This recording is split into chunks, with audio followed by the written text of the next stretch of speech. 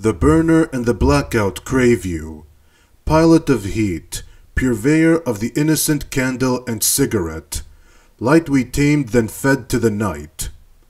Cupped, inviolate, a winter moth, a prayer we never sent away. You live in seconds what we name a life, a sudden cleansing.